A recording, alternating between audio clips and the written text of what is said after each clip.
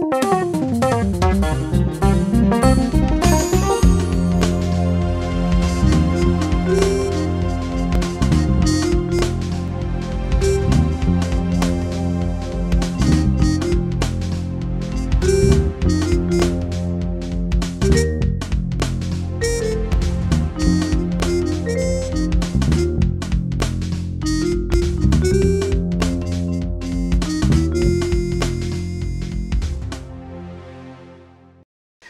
Welcome to Voice of the Inland Empire, your weekly adventure into the who, what, where, and why of our Southern California communities. Now, normally we're coming to you from my favorite place in the world, Charlie's Stars and Stripes in Old Town Upland. But today, we're coming from my home because we're about to go out on the road to downtown Ontario, the Civic Center, where we're going to meet with Debra Dorst Porada, who is Councilwoman and Mayor Pro Tem. And we're going to talk about all things Ontario, past, present, and future, including the fact that the airport is coming back home. It's going to be a great conversation, so don't go away. We will be right back. Charlie's Stars and Stripes in Old Town Upland is one of my favorite places to go for food, for drink, and for great entertainment. Located at 296 2nd Street in Old Town Upland, just north of the gazebo and just east of Euclid Avenue. This is a wonderful place with a broad menu, variety, great drinks, great fun, and marvelous people. They have weekly specials. These are my favorites. Check out their Monday night $5.99 steak dinner. How can you go wrong? They have specials virtually every night of the week. And then they have entertainment going on all the time from trivia contests to karaoke to dancing to some of the best cover bands you'll ever hear on Fridays and Saturday nights. Check them out on Yelp, check them out on Facebook, or come on by and say you heard about them on Voice of the Inland Empire. I love it so much here. This is where we're shooting the show right here from the bar at Charlie's Stars and Stripes in Old Town Upland. Come on by. Any evening, who knows, you may just see me here having dinner and a drink.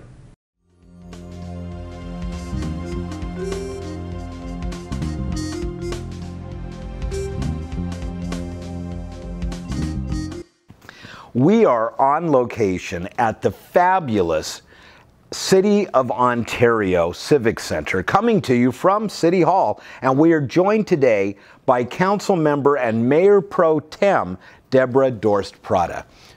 Debbie, thank you for joining us. I am so excited to be chatting with you. I appreciate you having me. Thank you. And you know what what originally made me want to reach out to you is when I heard that this year is the City of Ontario's 125th anniversary. And that's just like cool. It is very exciting to think that the city of Ontario has been around for 125 years. George Chaffey came back here in 1891 and he looked up at the top of the mountains there and he walked up there and he laid out the whole city in a grid system so that the water flows and it all started from there. And there was, uh, I believe, a mule or horse drawn trolley that went up and down Euclid. Yes, he did. He uh, put the trolley up there. I was part of um, the uh, electrical system, so uh, it was fun to have that there too. So. And you look 125 years later, and while a lot of cities and municipalities of all types are struggling financially, Ontario has made some really, really good strategic decisions over the years. You can blame that all on a fabulous city manager named Greg Devereaux. Um, back when he came on board, he really put this fiscal house in order here. And he, of course, as many people know, is now the CEO for the county of San Bernardino. Yes, very much so. Back in those days, they didn't budget the way that he liked, and so he changed those things where we now set aside money for replacement of vehicles, replacement of equipment, and so now replacement of facilities and the roofs.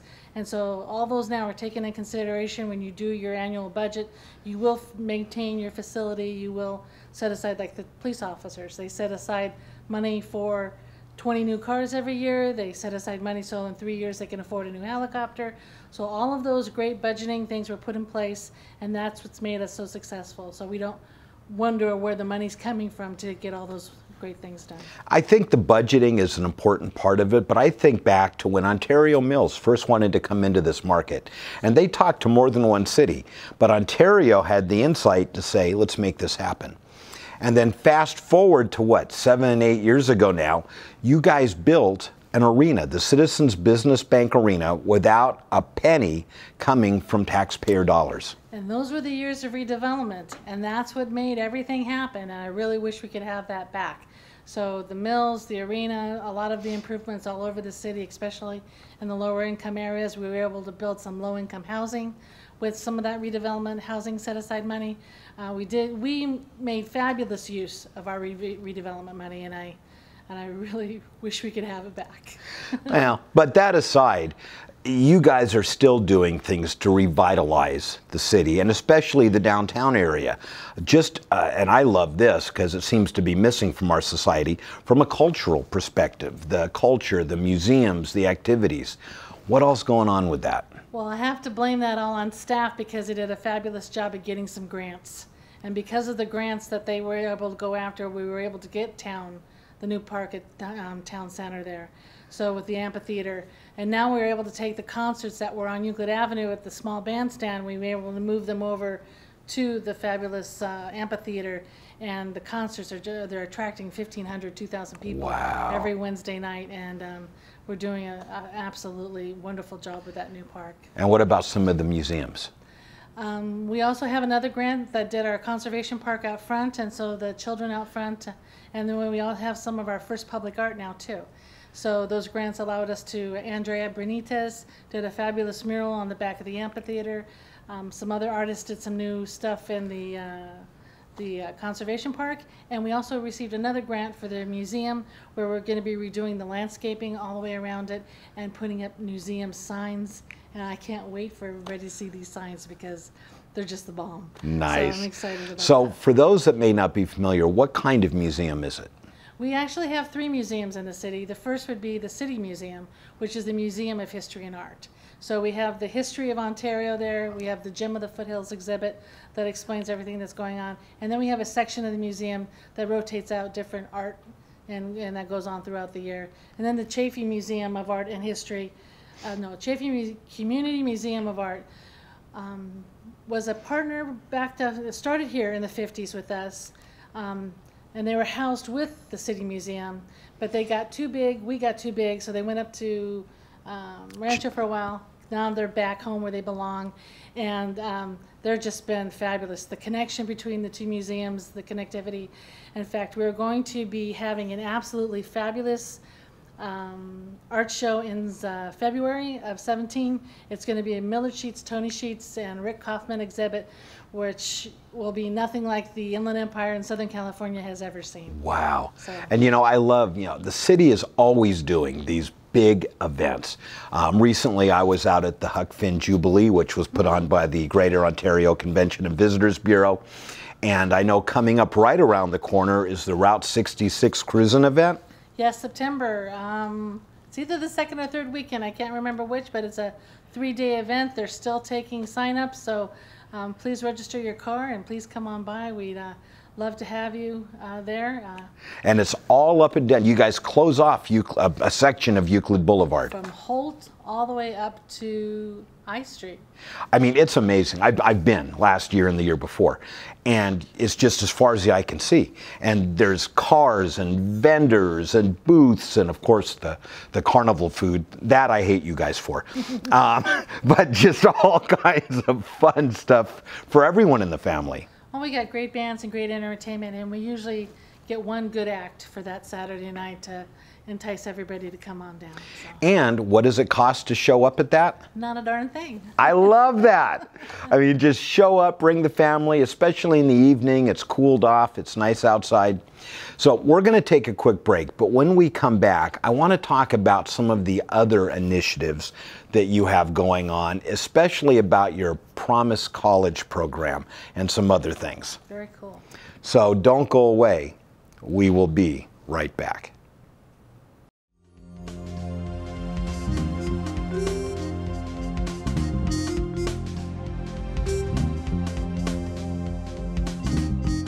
Hi, this is Corey Chalmers, host of the TV show Hoarders and president of SteriClean Inc. 5% of the population suffers from hoarding behaviors. Are you or a loved one overwhelmed with clutter? If so, let our caring and compassionate specialists support you every step of the way, drama free. Give us a call at 1 800 Hoarders for a free estimate or visit hoarders.com. SteriClean has offices nationwide to assist you. Please call us at 1 800 Hoarders. That's 1 800 462 7337. Normally, we are coming to you from Charlie's Stars and Stripes, one of my favorite places to hang out. In fact, many nights you'll find me there having dinner and a glass of wine. But today, we are honored to be coming to you from the City of Ontario Civic Center and City Hall, where we are joined by Council Member and Mayor Pro Tem Debra Dorst Porada. So, Debbie, we talked about so many fascinating things in the last segment, but you guys have a new initiative that I think is beyond cool, and it's all about keeping kids in school, or at least getting them to college. Yes, um, Ontario for the past two, three years has developed a uh, Promise Scholar program. And uh, the Ontario Montclair School District has been the, the big one that's been putting this together where they start talking to the kids about going to college at fifth grade.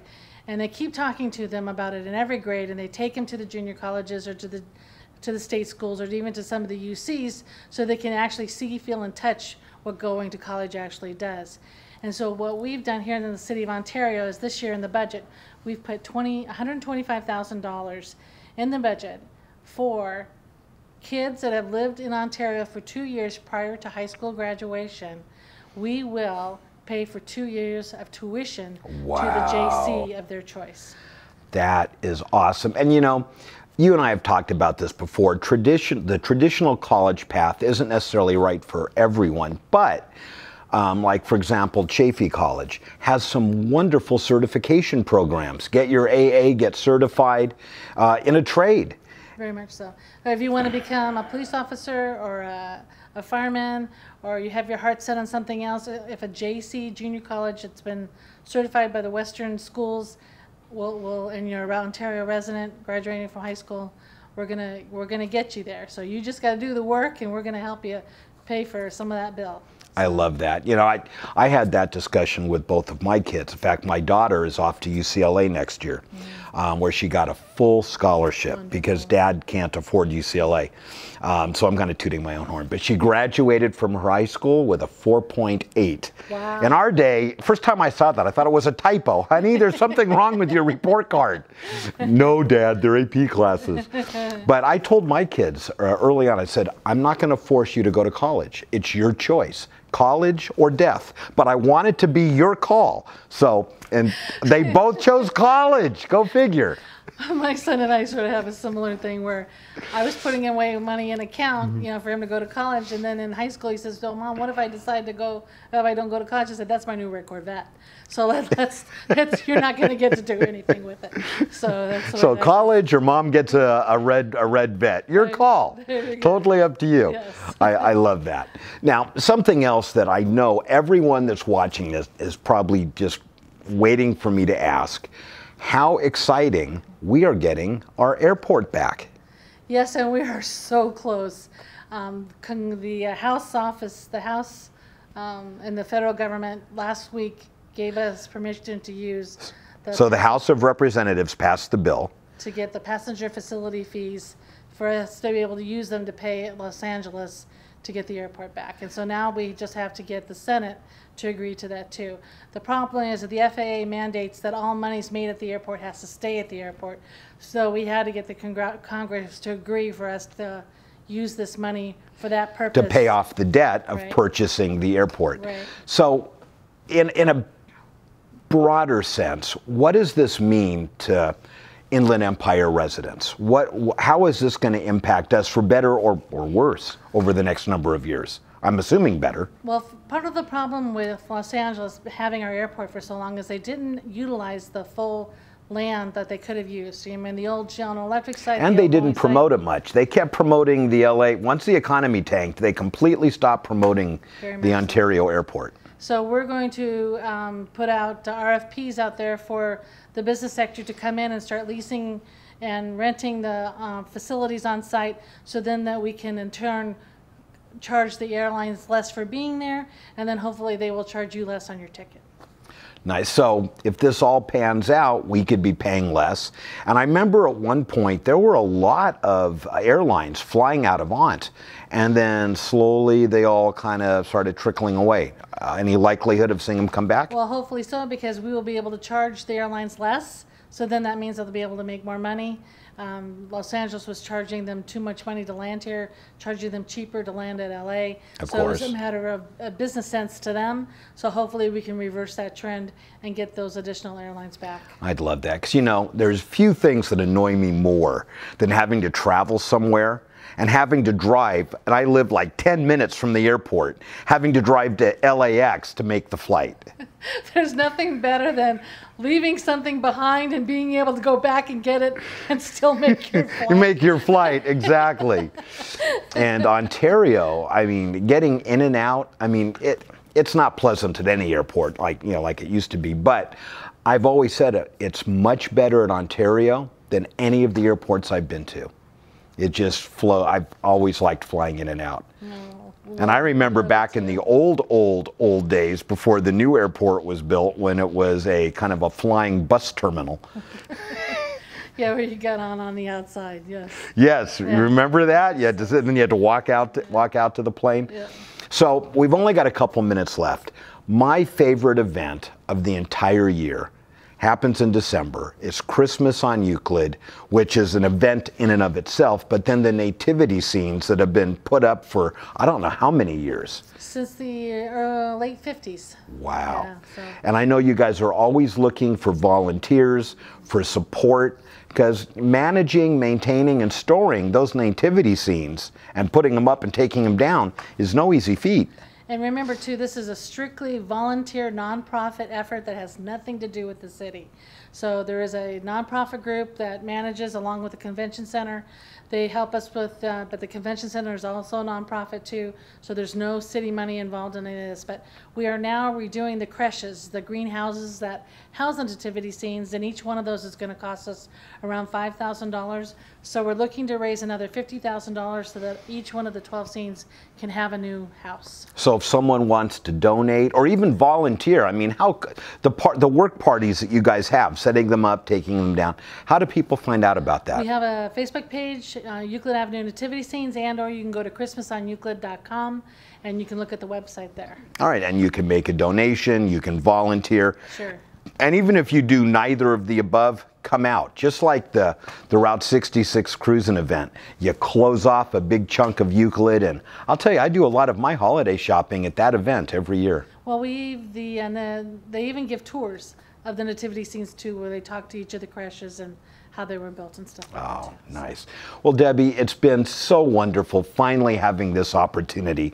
And please come back again and keep us up to date with what's going on in the wonderful city of Would Ontario. love to. Thank you so much. We have more yet to come, so don't go away. We will be right back.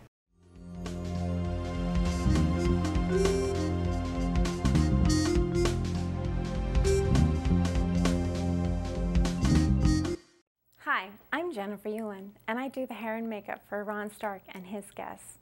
I would like to make you look and feel like a star all of the time. Come meet me at Studio M Salon and Spa in Upland, and if you mention this show, you can receive a free consultation and half off a haircut. I offer the best in makeup and formal styles for weddings, proms, and all of your special occasions including special effects makeup, hairstyling, cutting, and color, hair and eyelash extensions, facials, and body treatments. So if you want to look and feel like a star, come see me at Studio M Salon and Spa in Upland. Give me a call today for your free consultation and half off a haircut at 626 589 3475 or 909 981 6800.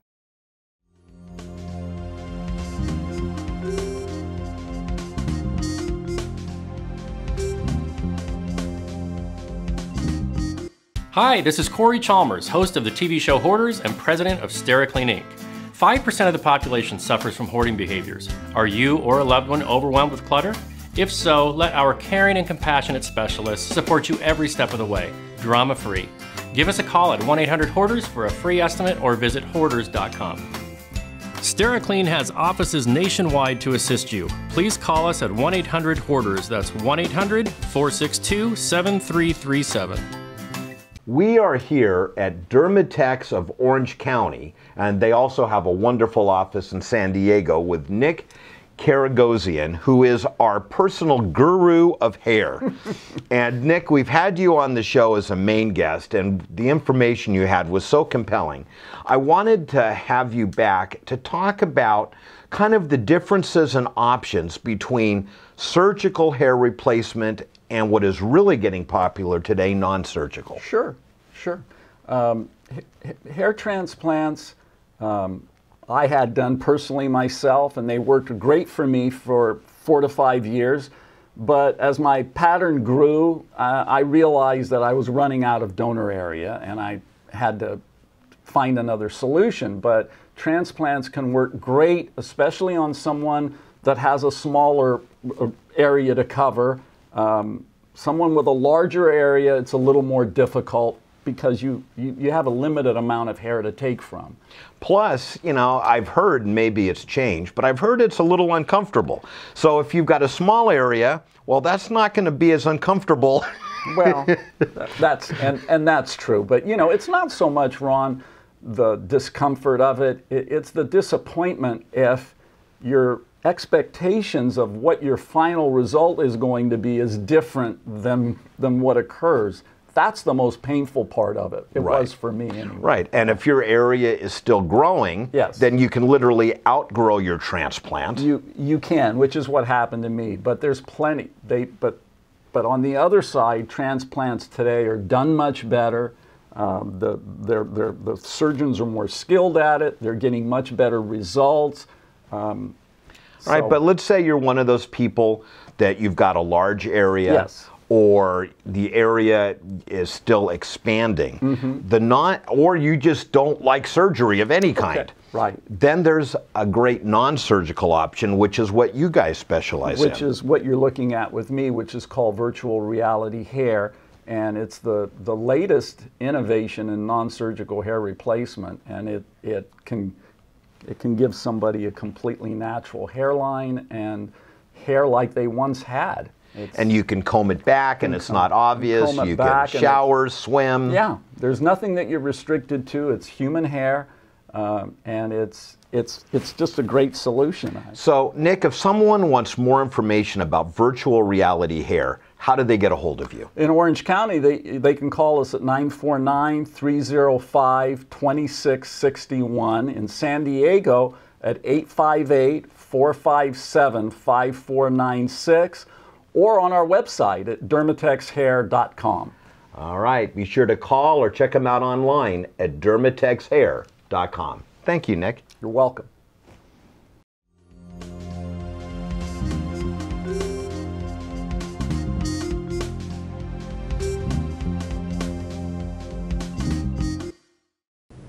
Charlie's Stars and Stripes in Old Town Upland is one of my favorite places to go for food, for drink, and for great entertainment. Located at 296 2nd Street in Old Town Upland, just north of the gazebo and just east of Euclid Avenue. This is a wonderful place with a broad menu, variety, great drinks, great fun, and marvelous people. They have weekly specials. These are my favorites. Check out their Monday night $5.99 steak dinner. How can you go wrong? They have specials virtually every night of the week. And then they have entertainment going on all the time from trivia contests to karaoke to dancing to some of the best cover bands you'll ever hear on Fridays and Saturday nights. Check them out on Yelp, check them out on Facebook, or come on by and say you heard about them on Voice of the Inland Empire. I love it so much here. This is where we're shooting the show right here from the bar at Charlie's Stars and Stripes in Old Town Upland. Come on by. Any evening, who knows, you may just see me here having dinner and a drink. I so enjoy the Citizens Business Bank Arena. There is always something fun going on there. And if you want to find out what, check them out at their website, cbbankarena.com. Now let's take a look at the arena clipboard and see what is coming up next. Right now, tickets for the Ontario Fury Indoor Soccer League are on sale. Season tickets, last season we did great, we made the playoffs. I'm thinking this year we may go all the way. Then coming up September 9th and 10th, the Belong Tour 2016. The Belong Tour is a two day experience challenging women to pursue their best lives. It is a call for women of all walks of life and faith to connect more deeply with their own dreams and purpose, and within their relationships and communities. The tour will be headlined by a diverse group of highly sought after authors, speakers, and artists. Then on September 24th, Casting Crowns, the very next thing tour. It's been more than 10 years since the members of Casting Crowns heard their first single on the radio in July of 2003. Since then, so much has happened in the lives of each member, and along the way, God has taught them so much. Lead singer Mark Hall says, God is winning. He's changing the world. It may look at times like things are getting darker and darker, but they're not. Everywhere you go, you can see the light, and light wins. Then, September 25th, my favorite Ontario Reign hosts the Kings in a black and white intra squad game. The Ontario Reign are the proud American Hockey League affiliate of the Los Angeles Kings. And they will play a black and white intra squad game at the arena with the Kings. Participants in this special black and white game will be comprised of players from the 2016 Kings training camp roster. And then finally, October 9th, the month of my birthday, preseason game Los Angeles Lakers versus the Denver Nuggets. I love it when the Lakers come to Ontario. It's a matchup you will not want to miss. For this and so much more, check out their website at cbbankarena.com.